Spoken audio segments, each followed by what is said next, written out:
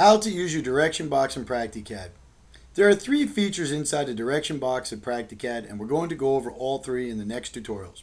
The first feature is the axis control.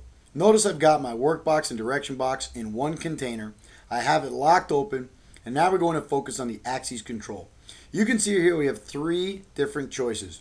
All axes, axis, or mid-axis.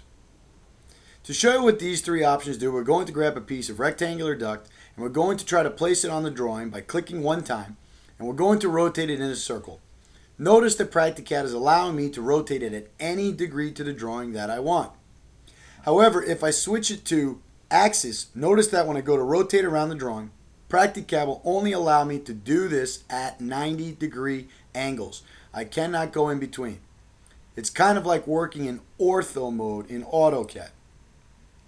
If we switch it to mid-axis, Practicad will allow me to snap my duct at 45 degree angles to the drawing.